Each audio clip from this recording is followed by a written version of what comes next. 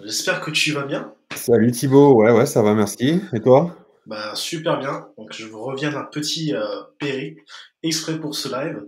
Et du coup, bah, je vais vous présenter euh, Julien. Donc, ce soir, c'est un format un petit peu particulier parce que Julien est auteur euh, depuis euh, un mois. Donc, il a lancé un super livre qui s'appelle Vivre. Vivre Libre aussi. Et du coup, On l'a Julien, fait, on fait la je la couperai euh, au montage. Et Julien, est-ce que tu peux te présenter avant qu'on commence euh, l'interview? Yes, avec plaisir. Euh, ben, du coup, merci déjà de, de, de me recevoir sur cette interview. Donc, je m'appelle Julien Loboda, j'ai euh, 30, euh, mon Dieu, 37 ans dans, deux- semaines. Euh, je suis investisseur, ça fait 10 ans que j'investis, hein, depuis 2012, et euh, principalement dans l'immobilier aussi. Après, euh, j'ai une stratégie en bourse, j'ai un peu de crypto, des, placements alternatifs, enfin voilà, dans toutes sortes d'investissements. Mais la majorité, ça reste l'immobilier. C'est une de mes activités. J'ai une autre activité qui est ben, que je, forme, j'accompagne, je coach des personnes sur euh, qui veulent se lancer en fait dans l'investissement immobilier. C'est-à-dire que euh, voilà, euh, des gens qui sont soit totalement débutants, qui n'y connaissent rien, soit des gens qui ont déjà un peu de connaissances, mais qui, ont envie de se perfectionner. Bah voilà, je suis en capacité de les accompagner là-dessus.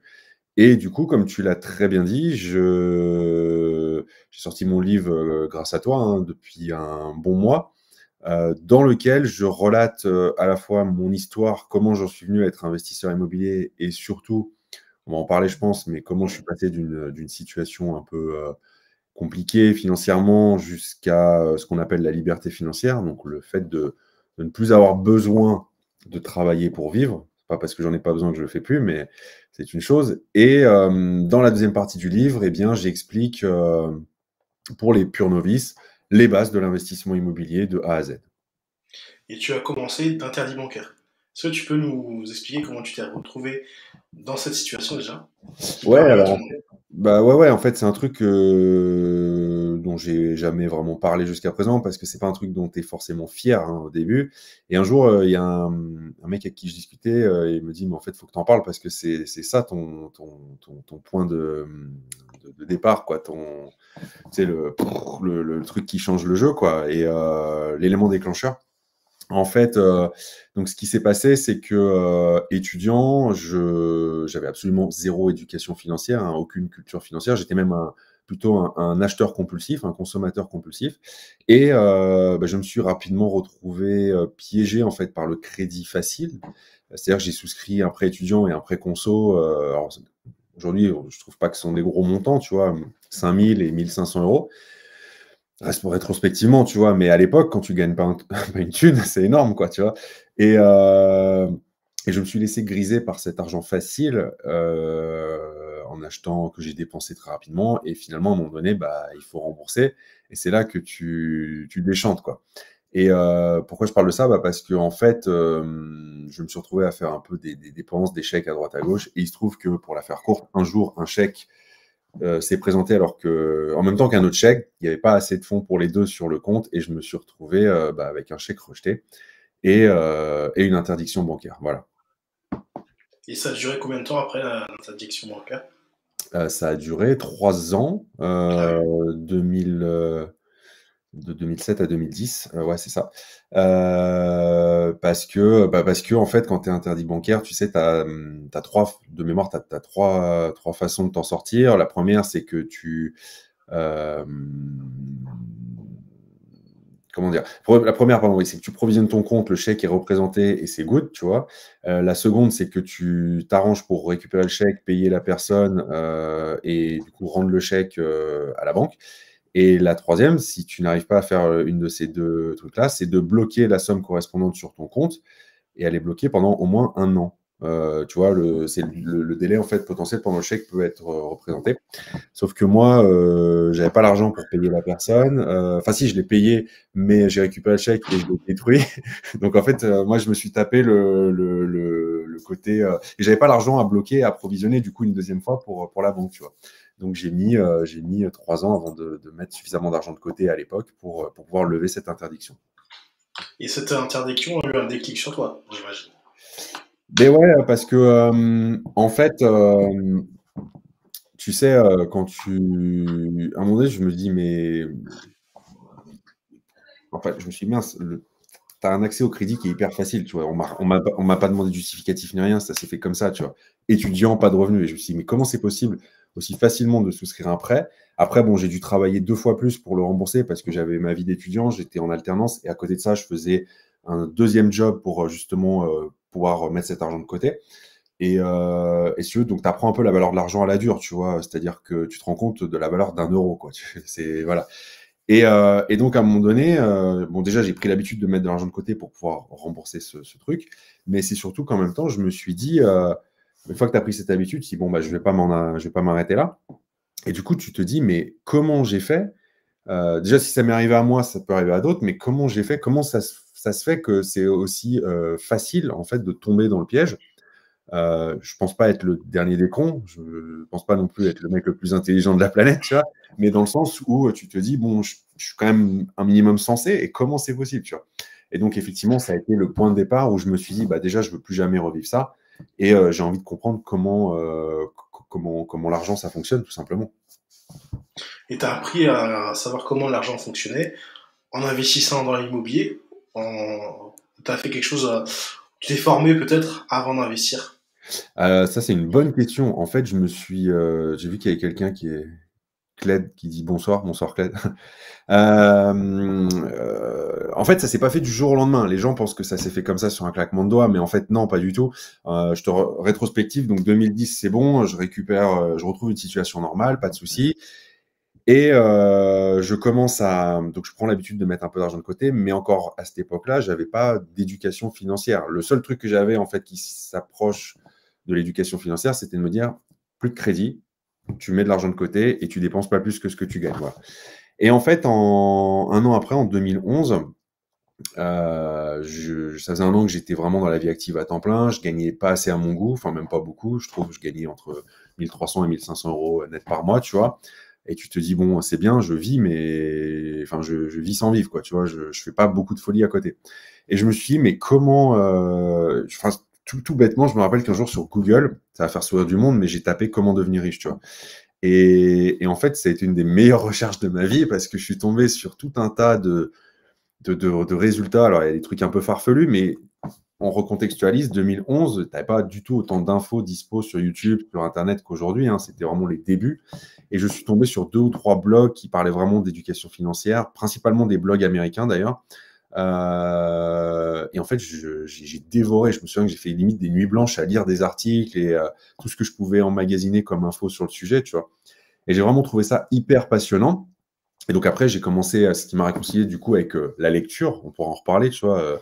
parce que moi, jusqu'à présent, enfin jusqu'à ce moment-là, à part deux trois lectures qui m'éclataient, moi les livres j'assimilais ça à quelque chose de plutôt chiant, tu vois. Les livres qu'on te fait lire à l'école, t'as absolument, enfin voilà, ça te passe au-dessus de la tête, quoi. Et du coup, euh, je me suis mis à lire beaucoup de livres, tu vois, sur l'argent, l'éducation financière, etc., l'investissement. Et là, tu commences à comprendre les mécanismes. Mais entre le moment où tu le lis et le moment où tu peux le, faire par toi-même, il s'est encore écoulé euh, plusieurs années, en fait. Hein. Donc, euh, voilà. Et mon premier investissement a eu lieu un an après. Et c'est pas folichon, c'est que j'ai acheté des actions d'une société qui s'appelait à l'époque Foncière des Régions, de mémoire. Euh, en gros, une boîte qui investit dans l'immobilier, qui est cotée en bourse, tu vois. Et ça, ça a été mon premier investissement, en fait. Donc, le schéma, c'est lire des livres, lire des articles, se former au maximum jusqu'au euh, passage à l'action. Et tu as commencé, on va dire que c'est pas. Tu estimes que c'est ton meilleur investissement que tu as fait, ton premier? Ou c'est un investissement pour apprendre Mon premier euh, immobilier ou pas? Ouais, ton premier euh, Non, c'est pas le meilleur, loin de là. C'est même le moins bon de tous.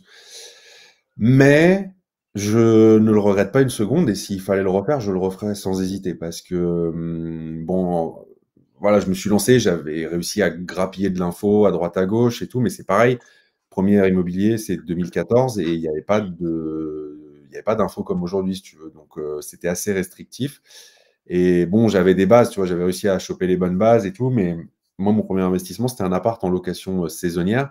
Il n'y avait absolument aucune info, aucune formation sur les taux de remplissage, les prix moyens, les, manières d'optimiser, la délégation, l'automatisation, tout ça, ça n'existait pas. Euh, du coup, euh, c'est pour ça que je te dis que je ne regrette pas, parce que du coup, j'ai j'y suis allé un peu, comme on dit, avec ma bite et mon couteau, tu vois. Mais, mais j'avais fait, j'avais fait des, estimatifs, mais qui étaient absolument au pifomètre. Et, et, et, après, j'ai appris, j'ai optimisé. Donc, tout ça pour te dire que hum, non, je ne le regrette pas parce que même s'il était loin d'être parfait, c'est celui qui m'a permis d'apprendre euh, avec l'expérience, d'apprendre sur le terrain. Et donc, euh, clairement, ça a été la meilleure des formations que j'ai pu faire. Quoi. Et ton premier investissement immobilier représentait un budget de combien? Euh, alors, de mémoire, euh, le prix d'acquisition hors euh, avec comment dire, le, prix d'acquisition c'était 122 000, tu avais à peu près 10 000 de frais d'agence, donc je devais être à 100, peut-être 140 avec les frais de notaire et avec j'ai fait pas mal de travaux moi-même dans ce bien donc je me suis retrouvé tout, tout bien tapé à 150 155 000 tu vois un truc comme ça quoi et un revenu locatif tu pouvais générer combien avec ce euh, dans sa meilleure année ce bien a généré 24 000 euros de revenus locatifs ce qui est intéressant ouais ouais euh, ça fait du, ouais, ça fait du 2000 euros. Euh, 2000 par mois, en fait, tu vois. En fait, quand, quand, je me suis lancé, ma, ma seule, euh, ma seule exigence, le seul objectif que je m'étais fixé, c'était que on est sur un bien en bord de mer, tu vois, et je me disais, voilà, il y a neuf semaines de congé euh, d'été, du 1er mmh. juillet, grosso modo, au 31 août, hein, voilà, à peu près. Euh, je, mon, mon, critère, c'était sur ces neuf semaines, il faut que je fasse 100% de remplissage et que ça paye le crédit pour l'année. Tu vois, ça, c'était le seul euh, indicateur que j'avais quand je me suis lancé. Et ta mensualité était de combien? 600... 640, 650, je sais plus exactement. Mais Donc, tu pouvais mettre 1000 euros dans ta poche si on enlève euh, tout ce qui est fiscalité, euh, frais de gestion et tout ça. Avec tes, les, revenus, tu es à 1000 euros dans ta poche. En fait, cette, euh, cet appartement, euh, est, on, est, on est en dessous des 1000 euros, mais euh, parce qu'il y a quand même pas mal de frais en location courte mmh. durée. Mais cet appartement, dans la poche tous les mois, c'était 500, entre 500 et 600 euros net. Voilà. Ce qui est plutôt intéressant pour un premier investissement. Et après, tu as continué à investir. Exactement. Après, j'ai réitéré l'opération en apprenant de mes erreurs, c'est-à-dire que j'ai pas refait les erreurs du premier.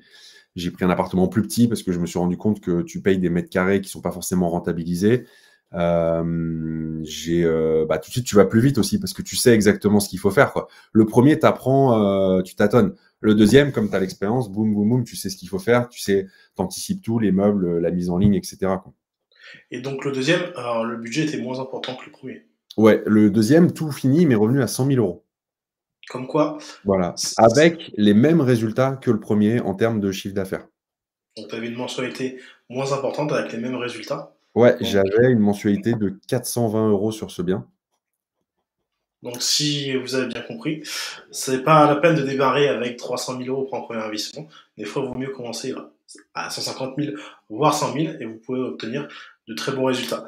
Mais pour devenir libre financièrement, euh, tu n'as pas compté que euh, sur euh, l'immobilier, tu as entrepris aussi?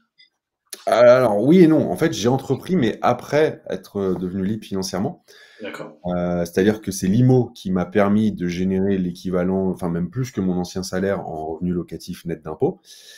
Et euh, bah à partir de ce moment-là, si tu veux, je me suis dit, bon, bah, je vais pas rester dans mon boulot, surtout qu'il m'éclatait plus tant que ça. Et, euh, et, et, là, tu te dis, mais je fais quoi en fait? Parce que tu vois, il y, a, un piège pour les gens qui nous regardent. Beaucoup de gens euh, qui ont peut-être envie d'atteindre la liberté financière, ça leur paraît peut-être hyper lointain et, et peut-être même inatteignable, tu vois. Déjà, c'est beaucoup plus atteignable qu'on ne le pense. Et, euh, et, quand on est au stade où on est, où déjà atteindre la liberté financière, ça paraît déjà tellement loin, euh, on a du mal à s'imaginer l'après. D'ailleurs, on n'y pense pas, on idéalise, on se dit bah voilà, moi j'aime tellement pas mon boulot que si je pouvais ne rien faire de mes journées, ce serait cool. Parce qu'on assimile ça un peu à des vacances. Et hum, en réalité, en réalité, tu vas beaucoup bosser pour atteindre la liberté financière. Donc si tu le fais, c'est que tu es un bosseur. Et quand tu es un bosseur, tu peux pas rester à rien faire. C'est pas possible. Euh, donc moi, quand je l'ai fait, j'ai rien foutu clairement pendant 4 mois. T'as voyagé peut-être Ouais, j'ai voyagé. Ouais, ouais, j'ai voyagé pas mal. Je suis parti aux États-Unis, j'ai voyagé pas mal en France. Surtout que c'était l'été. Moi, j'ai arrêté mon job le 30 juin, si tu veux. Donc, euh... Et tu faisais quoi comme job? J'étais directeur des ventes euh, dans une entreprise qui vend du, du, matériel pour les métiers de bouche, en fait. D'accord. Voilà. Euh, donc je manageais, j'étais tout le temps sur la route, j'étais jamais chez moi, je partais le lundi, je rentrais le jeudi ou le vendredi, je faisais 60 000 km par an, je manageais des commerciaux et des, des, points de vente avec du personnel. Donc c'était hyper. Euh... Au début c'était intéressant, mais après c'est t'as plus de vie quoi en fait, tu vois. C'est voilà. Et, euh... et du coup pour revenir à ta question, bah, c'est poser la question après quatre mois à rien faire, qu'est-ce que je fais, quoi, tu vois? Et, et, il se trouve que j'avais déjà créé mon blog sur l'immobilier depuis un an, mais qui à la base avait vocation juste à partager mon expérience. Et euh, bah, en un an, tu as quand même pas mal de gens qui m'ont écrit pour me demander si je faisais du coaching, de l'accompagnement, de la formation, etc. Et c'est comme ça que ça a pris, en fait, tu vois, de fil en aiguille. Je me suis dit, bah, écoute, j'ai une expertise et une passion pour l'IMO.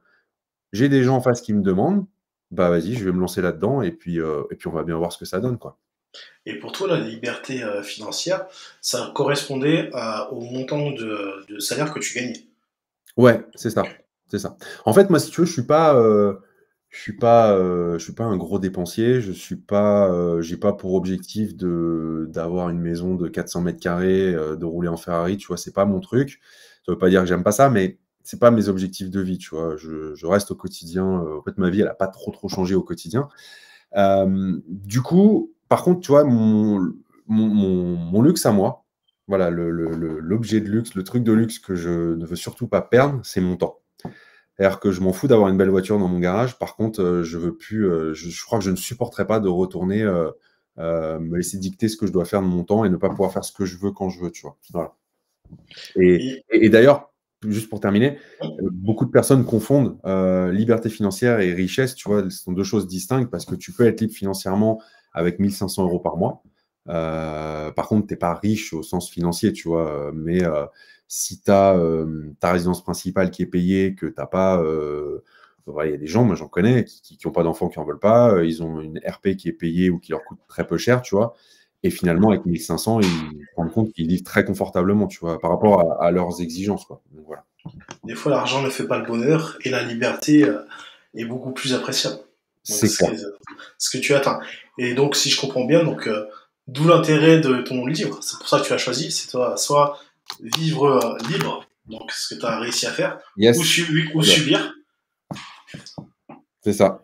Du coup, ton livre permet en fait à des personnes bah, qui se sentent qui subissent de pouvoir bah, atteindre la liberté qu'ils souhaitent, pas forcément de gagner 10 euh, 000 euros par mois, mais ne serait-ce que remplacer son salaire grâce à l'immobilier. Ouais, c'est ça. Et euh, en fait, si tu veux, c'est même. Euh, il y a des étapes avant le fait de remplacer son salaire. C'est simplement. Parce que moi, tu vois, le, bon, le titre, effectivement, il est, il, est, il est révélateur de ce qu'il y a dedans. parce que moi, c'est mon, mon credo. Je pense que ça, les gens l'ont bien compris maintenant. Mais euh, pour moi, la liberté, elle, elle, elle, a plusieurs niveaux. Euh, alors, tu as la liberté complète une fois que tu es plus dépendant d'un job, mais si tu veux déjà le simple fait de commencer à mettre de l'ordre dans tes finances, à avoir un peu d'argent de côté, ce que j'explique dans le livre, et après à réaliser un premier investissement qui va commencer à te ramener des revenus passifs tous les mois. Ça peut être un investissement IMO qui va te ramener 300, 400, 500 euros de cash flow, ou ça peut être euh, d'investir en bourse pour avoir des dividendes qui tombent en automatique, tu vois. Bah, je trouve que juste ça, déjà, c'est une forme de liberté parce que, euh, surtout en ce moment, on a une inflation qui est quand même assez folle, qui, est galopante et qui n'est pas prête de s'arrêter.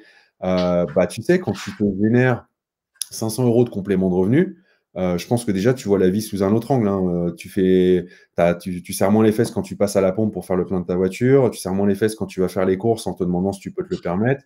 Euh, et, tout est comme ça. Donc c'est déjà une forme de liberté et, du coup tu subis moins ou tu ne subis pas. Ça c'est vraiment le premier niveau. Et après, tu as aussi le simple côté de te dire, bah, si tu as 500 euros de revenus complémentaires qui tombent tous les mois, tu es déjà beaucoup moins dépendant de ton, de ton job et de ton patron. Et si tu as envie de passer à mi-temps, tu peux le faire. Si tu as envie de refuser une promotion qui ne t'éclate pas du tout parce que euh, ça va t'obliger à déménager dans une ville qui ne te plaît pas ou faire un job qui ne te plaît pas, tu peux te permettre de le faire ou si tu veux envoyer tes enfants faire des études. Enfin, tu vois, tout de suite, tu. Voilà. Ça t'ouvre des possibilités. Et donc, c'est pour ça que c'est important de préciser que, bien sûr, la liberté financière, c'est le stade ultime, mais qu'il y a des, étapes intermédiaires déjà avec des niveaux de liberté, en fait. Et tu traites euh, dans ton livre de la partie financement, la partie fiscalité, et surtout quelle stratégie euh, d'investissement euh, adopter? C'est bien ça?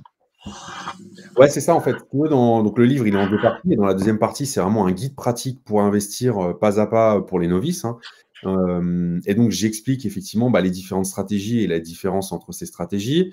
Quel type de bien acheter, comment on fait pour obtenir un financement bancaire avec les différents types de crédits, comment on fait pour présenter un dossier sympa à une banque, la fiscalité, voilà, tout est, tout est expliqué dans le livre, si tu veux. Et l'idée que j'ai voulu avoir, c'est de dire aux gens, en fait, c'est bon, si tu n'as pas les moyens d'acheter une formation ou que tu n'as pas envie, parce que tu as un peu peur de, mettre de l'argent dans une formation, c'est un investissement, je le conçois tout à fait.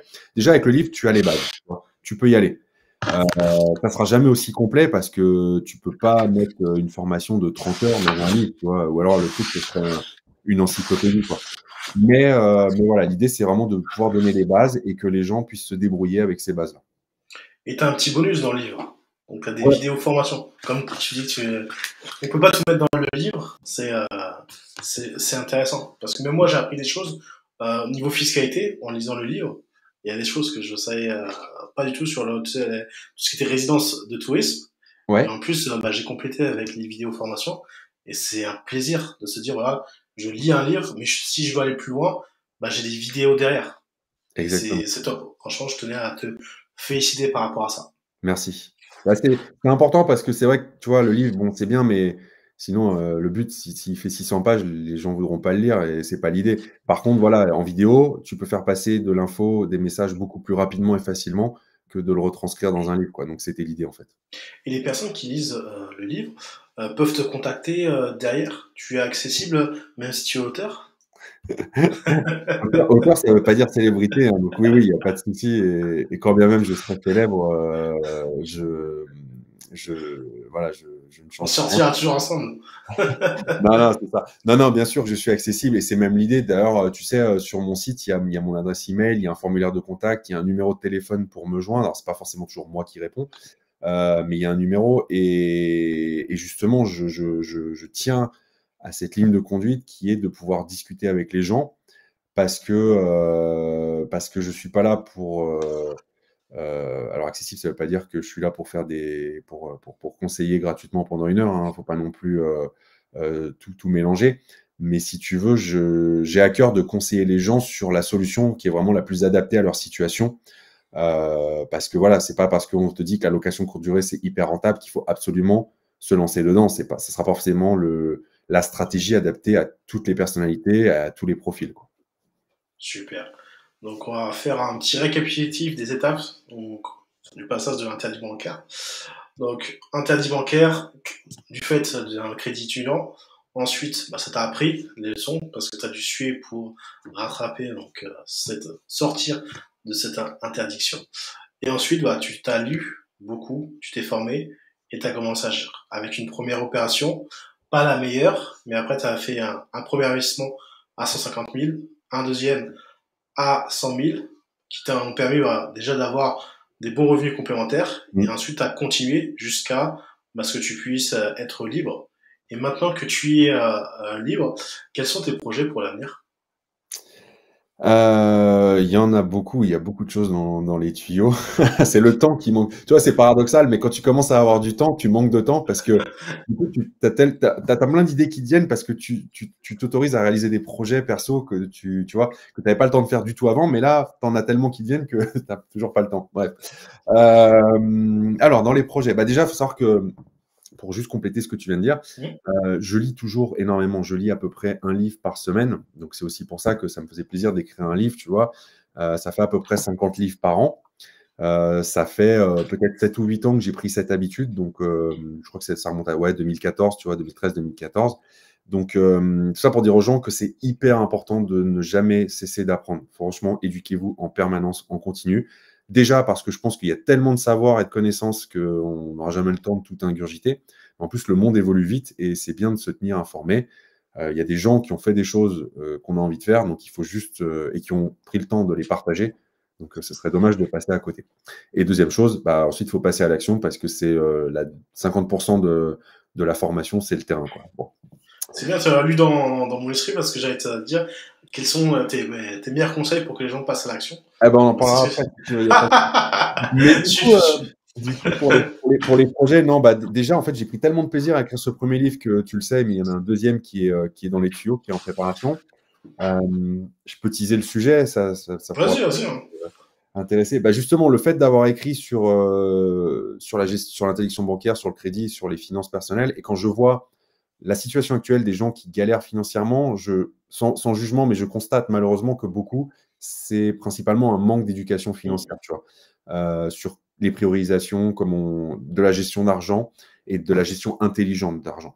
Donc le, le, le, prochain bouquin, ça sera sur cette thématique, c'est comment sortir du, du, de l'endettement ou du surendettement et euh, reprendre des, des, habitudes saines en fait sur, euh, sur la gestion des finances personnelles. Voilà. Ce qui touche énormément de personnes. Hein. C'est ça. Parce que la gestion du budget, c'est même des personnes qui gagnent 10 000 euros, derrière, c'est pas pour longtemps qui... C'est ça. Il faut vivre au-dessus de leurs moyens. Et, et le but, c'est que ça, c'est un truc qui me tient à cœur depuis longtemps aussi, et il faut que ce soit accessible à tout le monde. je veux le faire en livre et pas forcément en formation, parce qu'un livre, bah, tu peux l'acheter n'importe où, euh, tu peux le prêter, euh, ça coûte pas cher. Enfin voilà, ça a beaucoup d'atouts, et donc c'est vraiment un truc qui me tient à cœur. Donc ça, c'est un gros projet.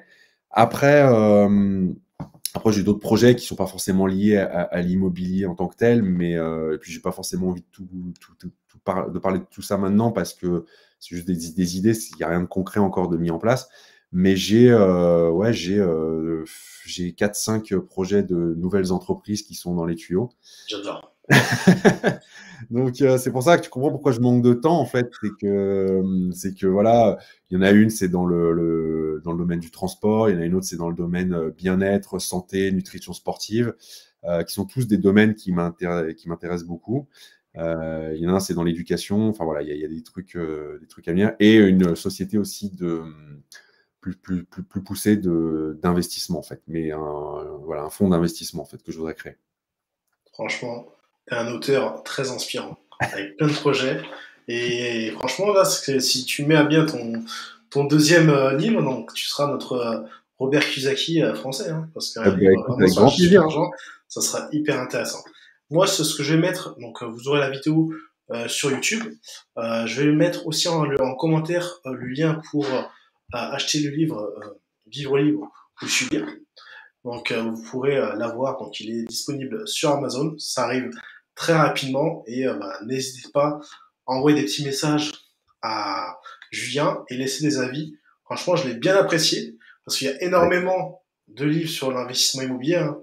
Je regarde, je scrute mais franchement, il était bien technique et j'ai bien apprécié le côté bah, histoire, mais sans en faire trop, parce que j'en ai lu des livres où les gens se la pétaient. Donc là, ça vraiment, t'as as écrit avec tout le cœur et vraiment apporté des, des bonnes tips. Donc euh, n'hésitez pas à lire des livres toutes les semaines. Encore plus euh, si ils viennent de Julien Lebola. Donc euh, merci Julien pour merci cette interview. Vous aurez accès au livre et bien sûr au bonus qu'il y a dans le livre. Merci de votre attention et Julien, on se dit à, à très bientôt. Peut-être à jeudi prochain pour une, un petit cocktail. Ça marche. Allez, bonne Allez, soirée. Passez une bonne soirée et je mets le livre en commentaire.